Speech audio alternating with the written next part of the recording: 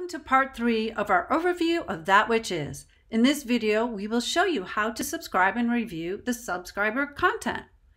We are now on the student homepage of That Which Is, having already logged in with our MSIA.org student user account, but we are not yet a subscriber. The quick way to know you are logged in is by looking at the top right.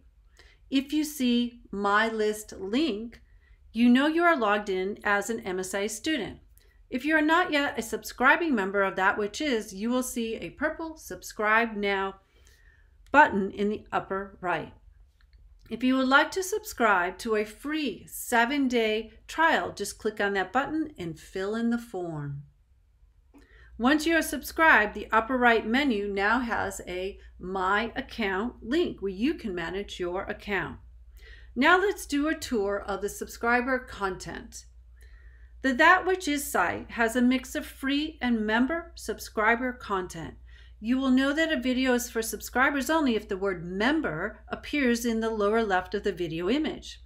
Let me show you. Let's use browse to see meditations. Notice on the left, the word meditations is saying displaying 1 through 24 50.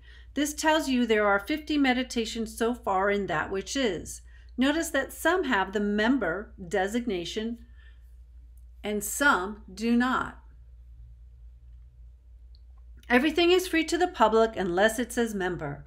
If you click on a member video, you'll only see it if you have a subscription. For questions or more help with that which is, email order at msia.org or call us on the phone 323 328 1972.